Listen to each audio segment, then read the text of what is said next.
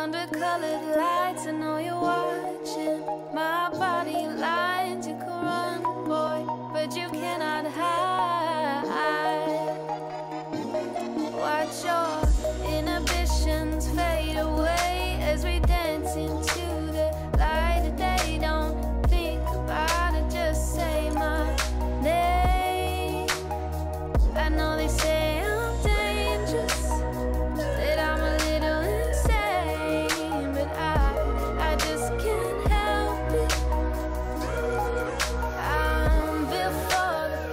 Welcome to the largest landed plot right here in the Jalan Bumbong Landed Enclave. I'm heading into a semi-D that was just rebuilt a short five years back into quite like a detached concept. And we're heading to this land size of 8288 square feet and I think this home tour is going to intrigue you, especially if you're looking for something with a huge plot of land size with freehold status right here in D25. Let's go.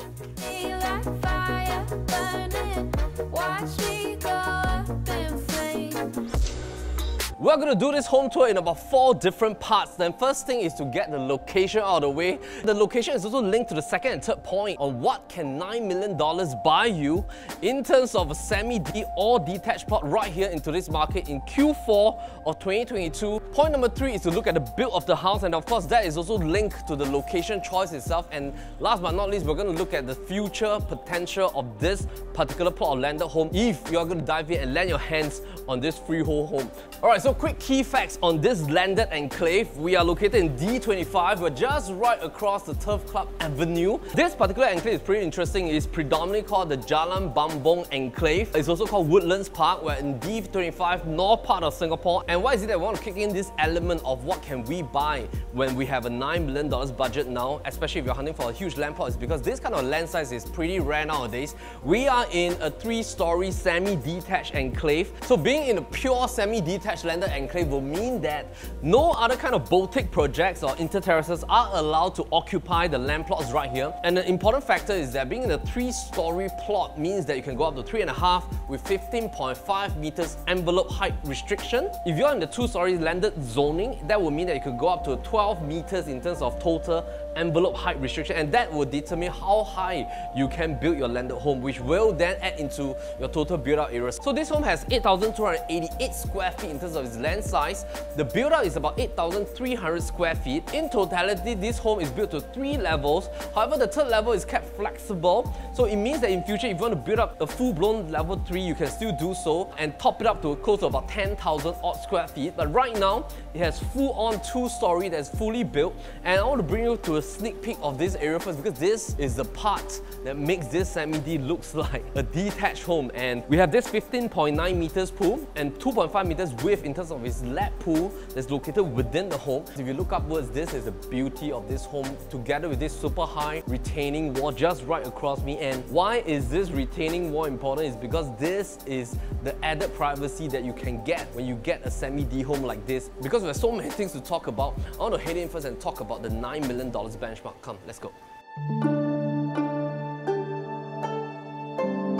This home has seven huge bedrooms, all are ensuite, two huge bedrooms that are ensuite on level one, and of course the rest of the five bedrooms on level two together with a family area. You also have a separate bonus koi pond on my left hand side. There's about 1.2 meters deep. The pool on my right hand side is the longest 15.9 meters, which is quite hard to achieve in most homes. Now the key rationale is because this home is seated on a land width of 18.2 meters and a land depth of close to 45 meters on one end. The other end, with a little bit of tapering towards the back, you also have a bonus shower area right beside the pool. Meantime, it's very important to deduce what you can afford right now with a $9 million budget. And you might be wondering, hey, why are we diving specifically to a $9 million bandwidth? Now, this home, in terms of its asking price, is 8.28 million. And we're trying to decipher if somebody has a $9 million budget, what is the kind of land size that they can buy? So we started diving in into all the available listings right now on some of the most popular portals right here in Singapore at this point in time of filming in Q4 2022. And we realized that the moment we key in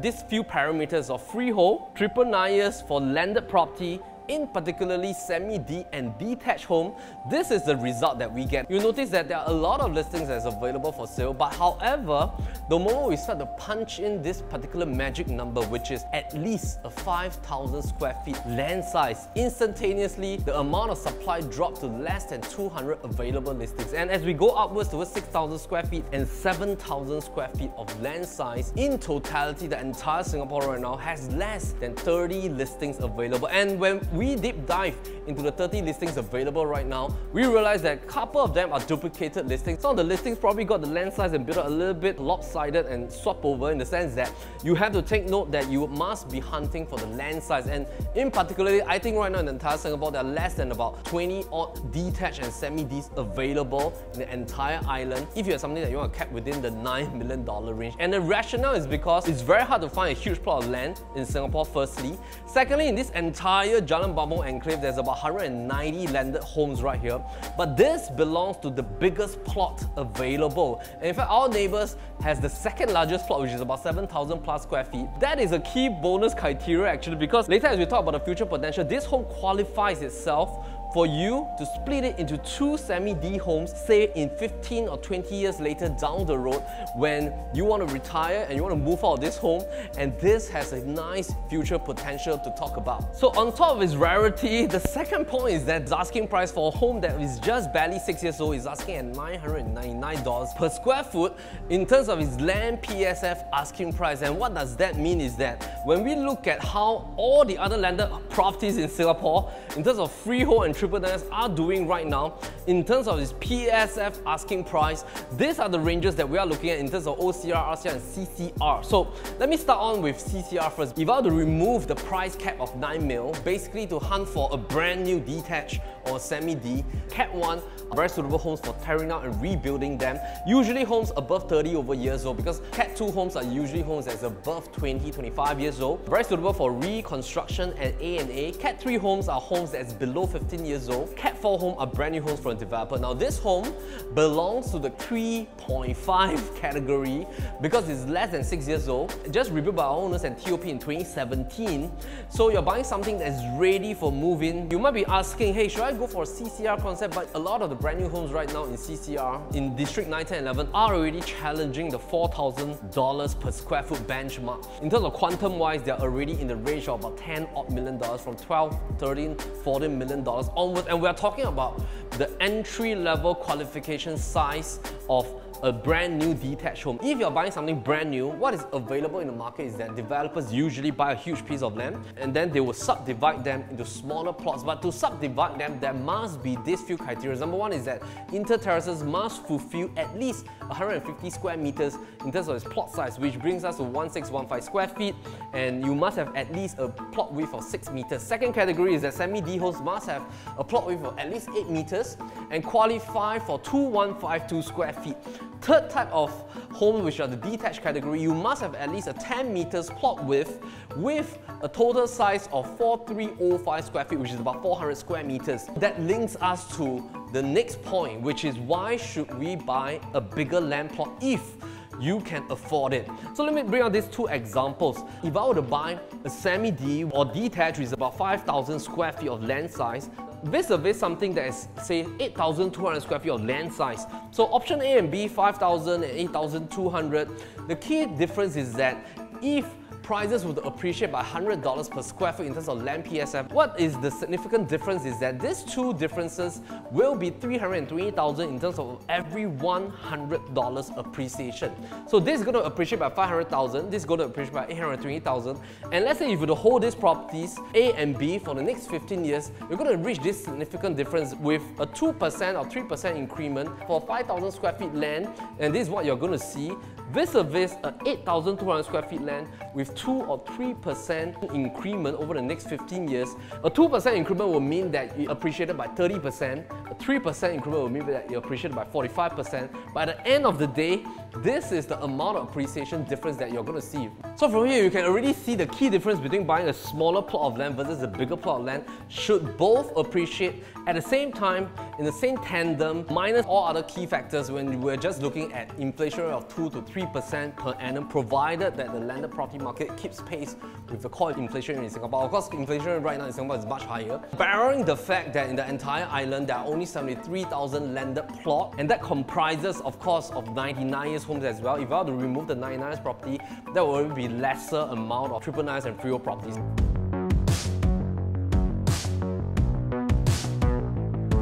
Coming into the location of D25, you might be wondering, hey, should I spend about $9 million or $8.28 million in the D25 location? And that will bring us to the future potential of this place. Because if you are thinking of going into 9, 10, 11, technically speaking, $9 million is out of reach in these three districts. If you are buying something that is a small plot, like a 2152 square feet, brand new landed, semi-D, that would be about 7 odd million dollars. If you're going for at least a detached that is brand new, is already closing into about 10 to 11 or maybe even 12 million dollars for some of the more reasonable kind of land size. But to buy this land, with 828 square feet, this is as if like you're buying two landed at one go. Now your key future audience will come in the next 10, 15 or 20 years because what's going to happen in this particular north part of Singapore is that we are right in between from the Kranji Turf Club Avenue very closely to Woodlands which is already earmarked as a mega hub. Secondly, the direct link towards Johor Bahru with the rapid transit line that's going to be completed by 2026. The next one will be the future downtown line interchange at Sungei Kadut area. Importantly is that when you buy a landed home, you want to sit and wait for the appreciation to happen. Let's just do a quick projection of the next 15 years is that assuming let's say you buy this property, in 15 years time,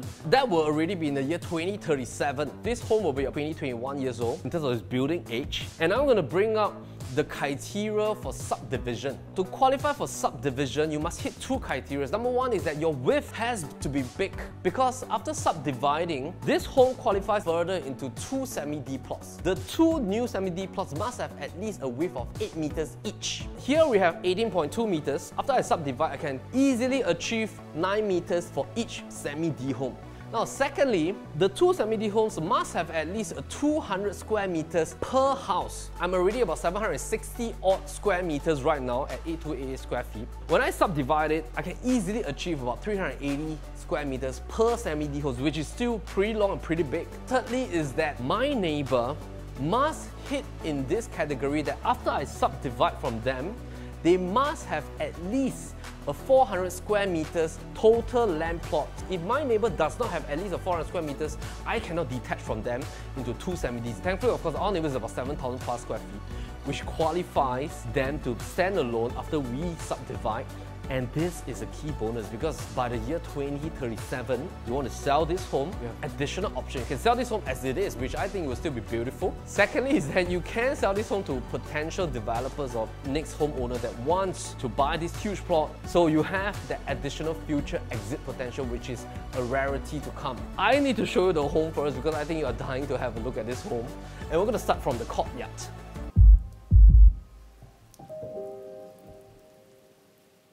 When our owners first designed it together with an architect, they want to make it into a modern home that is timeless. That means that anybody that takes over this home as a new owner, you can redesign it into any kind of design that you want to have. So firstly, the first part of the home has that 6 meters allocation to this particular feature right here together with the pool bigger than usual because most of the time pool dimension is at 2 meters but this is 2.5 meters. Pool length is 15.9 meters and most of the time homes will just build about 10 to maybe 12 and of course pool depth is standard at 1.2 tapering towards more shallow area to a deeper area and you can really lap right here within this pool.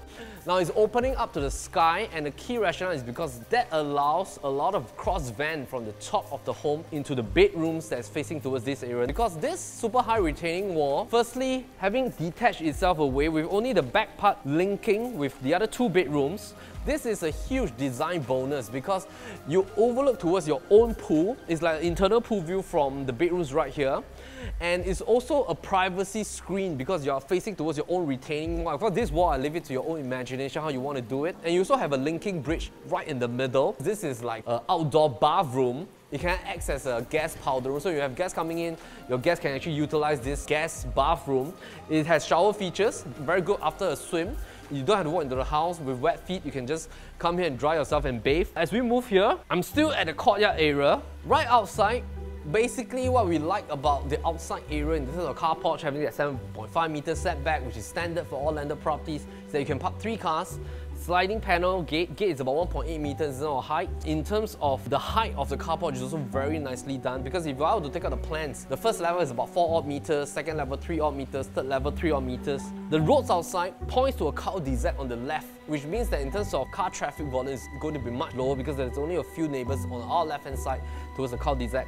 Right outside is also dotted line with no double yellow line at the side roads, which means that you can also park additional cars as well. But you can already park three cars. I mean, which is great for your family, great for your kids the moment they get their license. As I move here, this is also a beauty because this is also six meters. What our owners have designed is that this is like a beautiful gardening area with the turf area, with the koi pond.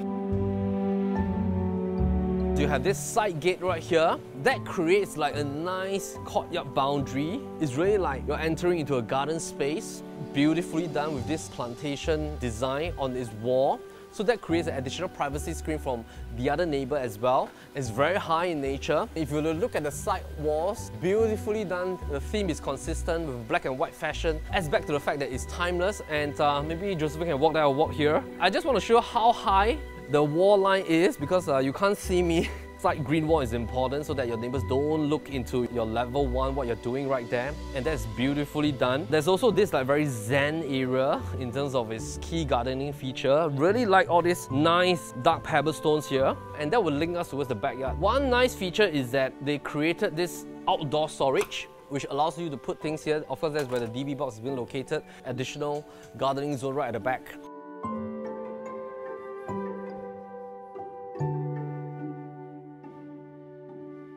Now, why is it important to talk about the build of the house is because in terms of the time and effort, let me share with you what are the three components. Firstly, the land price, because land price just rise, supply is limited, demand is increasing because a lot of people, once they get into the landed property market, they don't want to exit. HDB upgrades, condo property owners are also aiming for this market. So landed properties only form about 5% of Singapore. Number two is the structure that's sitting on top of the land. Right now, if I were to reverse engineer the asking price of this, if you want to buy something like this, 8,000 over square feet of land, let's just assume that you buy this for price X. In order to determine what is price X, we need to look at what is the construction price. So let me take out the whole 8.28 million and then reverse it backwards to the land price. Construction cost right now, any builder or architect that you approach, minimum they're going to quote you is $450 per square foot. 8,300 square feet of built-up area will then cost you about 3 million and not counting your rental costs for the next 18 to 24 months. And of course, this home to our clients close to about two and a half years to construct. So if I want to minus off that 3 million, that would then be 5 billion dollars for the land cost. And if you were to calculate that, that is about 600 over dollars per square foot, which is almost unheard of in today's market. You might be thinking, hey, why don't I buy something that is about 5 odd million, 6 odd million and rebuild myself? Now, firstly, this kind of land size is not easily attainable. Secondly is that if you do have 5 odd million dollars to buy a land plot, it might be something that is 4,000 to 5,000 square feet. That brings us to the third point, which is the intangible factor. You're buying somebody's time and effort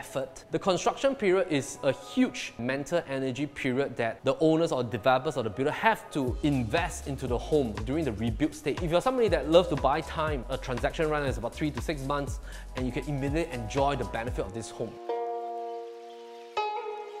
If you don't come to this central core area, I just love the fact that almost every part of this home is quite Instagrammable. This is the area for a future lift provision. It's already inside the BCA plans. What you need to do is that resubmit the plans to BCA. It's already having that provision on the original plans itself. You can put in a lift that goes straight to level 2, level 3 with the A&A opening towards the railing and the lift landing towards level 2. This is a great future-proof concept for the home. Right behind that stairway core is this nice entertainment area. Huge dining space. When you stand here, you look out on the left, don't you feel that you're Japanese garden? Just have a look at this. Oh my goodness.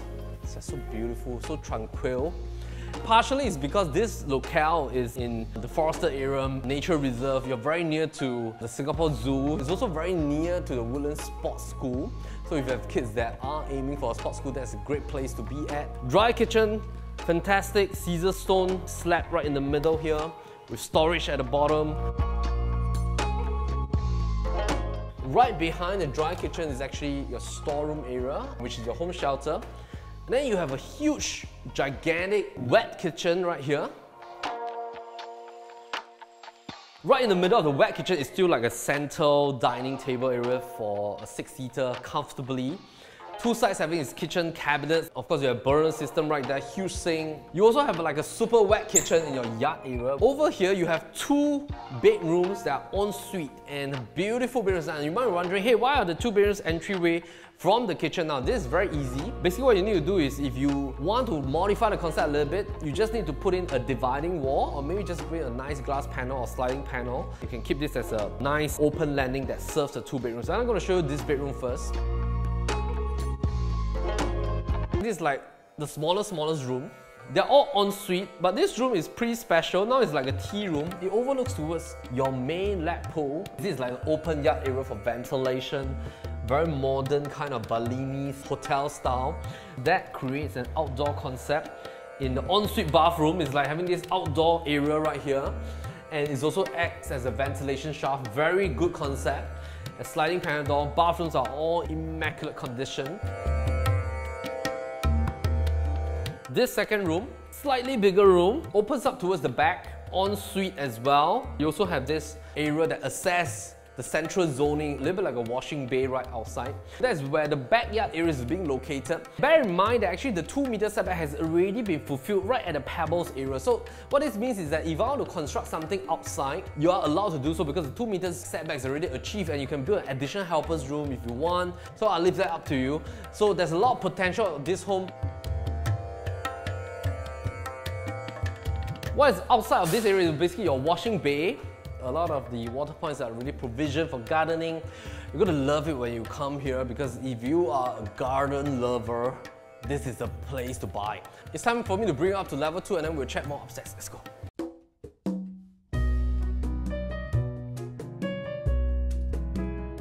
Very importantly is that uh, if you want to rebuild your home from scratch, that's a great opportunity for you to have that provision because sometimes when you go for homes that are above 10 or 15 years old, when the first hand owner didn't provide that provision, then it's a little bit hard for you to craft out the particular area. So this home is future proof in the sense that in future you want to put in a lift, this is the particular exact locale that can do that and that can open up to this landing that I'm coming towards you, which is here. So the exact position of the lift will be from this entryway. You'll come up here all the way to level 3 and then you can just come up from this landing. Now what is the beauty is that right across me, this opens up directly to the sky. And this is such an important key feature because the owners and the architects, they first constructed this. This is almost like your internal pool view that you have. Opening up to the sky, having that ventilation from the top and airflow coming in and flowing naturally. This almost cools the home in almost like a 360 degrees fashion because if I were to go to the front and the back of the home, you're almost facing like full-blown greenery. After that row of landed homes will be the forested area. Right behind you is almost close to the forested area as well. The added feature of this retaining wall is also to block off the afternoon sun. Now the other thing is that you can also see through downstairs and upwards towards the sky from the front part and the family area together with this portion looking down on the left and right hand side. So it's a very nice area for you to hang out.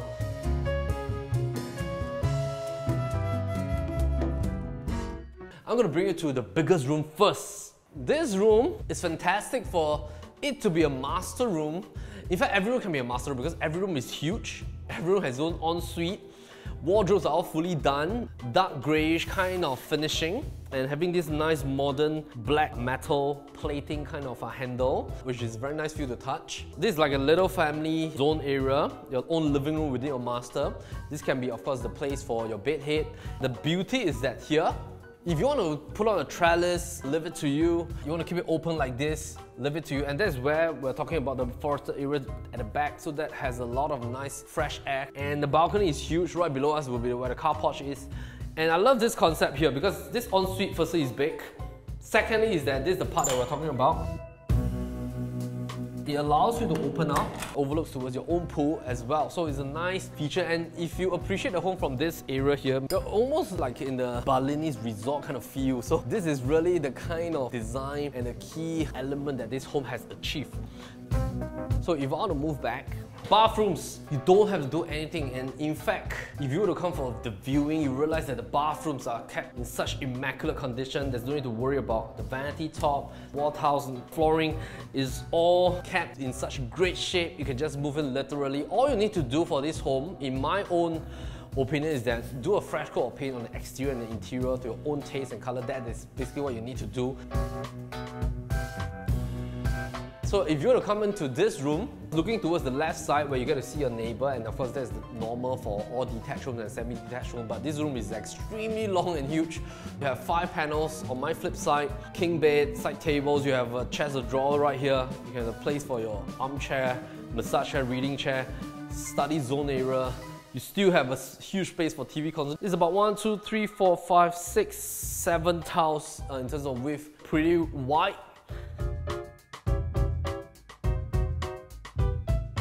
Bathrooms are all very huge. Ventilation windows, very nice consistent theme and concept. Easy for maintenance when you have that kind of dark finishing in terms of wall tiles and flooring. I like the fact that a lot of fine details like this hidden between the two wall line for a sliding panel instead of the openable kind of doors which takes up a little bit more space. Also small little details like this. Wooden panel with metal framing because you have wet hands so if uh, it's all maintained with wood it might warp over time. This is of course a nice fine detail to have. Aircons wise are all Mitsubishi electric inverter system. Nice little feature is that here, the window can be just right here, but in order to have larger kind of feel, there's a bay window kind of concept right here, so it acts like a sitting area. Throw in some cushions, of course you can put on some displays. So in total, I've shown you four bedrooms, two on level one, and then two on level two already. We still have three rooms to go. Now this room, also huge, six panel wardrobe space, the queen bed looks very small in this huge room. Every room is like a nice huge one bedder condominium. Firstly, it's wide, high ceiling. You have this like outdoor balcony area that links to the other room. Fantastic room for your kids. And then, oh my goodness, look at this. You can even put in like a table and chair in the bathroom. Look at this. So your study table is here. You can study in the bathroom. Oh, okay, actually everything is like plus size lah. I would say that's the word. Oh my goodness, it's ceiling fan right here. Rain shower. Thing is like big and everything looks so new as well. Storage space. So this is the fifth bedroom. I'm gonna put it to the sixth one and the seventh one. But before that, you have a nice family zoning here, which is fantastic. Our owners have created like a little pantry area here. You can put in your water dispenser, air conditioned family area. If you really need the eighth bedroom, just need to construct a nice party wall right here together with a sliding panel door or a full on door. This will be your eighth bedroom. Right now it's like an open gym family zoning right here. These are storage space as well for you to put in more stuff together with a DB box area.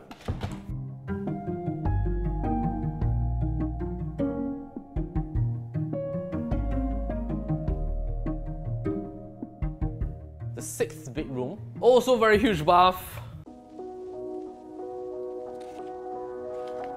So this is the room that's interlinked towards that fifth room, which is why I say this room is good for both your children. In fact, your entire family can be on level 2, and then level 1, that two rooms nearer to the kitchen, can be a guest bedroom. You also have like a back balcony overlooking towards the back. So every room is like super gigantic. So the seventh bedroom Actually, every room is huge. I should stop using the word huge, huge, huge, huge. every room is so big here. Maybe you might be wondering, hey, what can I still do with this room? Because when our owners constructed this place, they were really thinking about the usability. Although they can stretch to 10, 11,000 square feet of built-up area, but they just felt that there's no need to do so. So they kept it at about 8,003 in terms of the built-up area. So what you can do is that you can go up to level 3, and I'm going to bring it up now.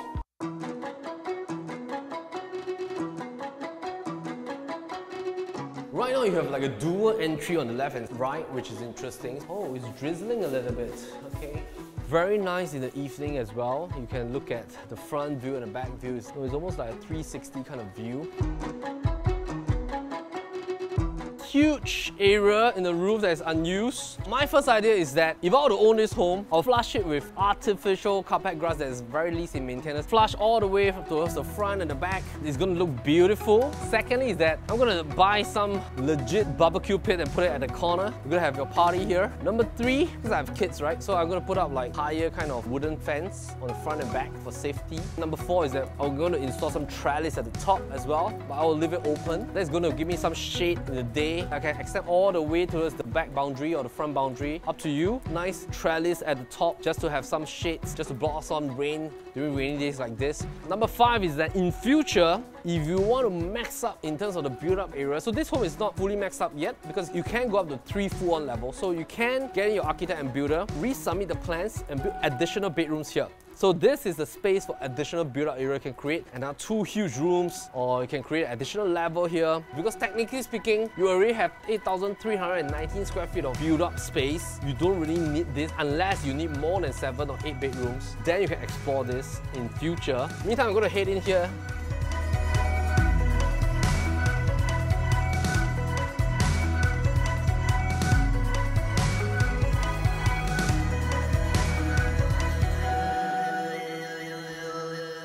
Alright, so we're done with the home tour. Thank you for staying with us throughout and I hope you love this home. You need to come here for a physical viewing and give a call to our listing managers. The numbers are all right here. To sum it up for you is that this home has future potential in our concept because just have a look at in terms of the asking PSF is at $999 per square foot and if I were to remove the entire construction portion the land is basically at about 600 odd dollars per square foot. But most importantly is that at this particular quantum, to get a home in this beautiful build up, in this beautiful construct that's just less than six years old. At this price quantum of 8.28 million is hard to find in today's market and most importantly, freehold for you to hold for the next 15, 20 years before you move on to your next season in life and uh, I think you should definitely give us a call. So once again, my name is Melvin Lim, Property Russ. As always, happy to show you the place and meantime, take care.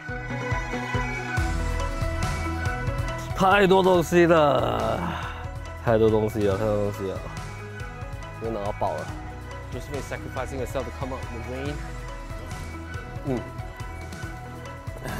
阿嘎阿嘎，River 在上面 OK 哦。so quick，那我们进去吧。一下子。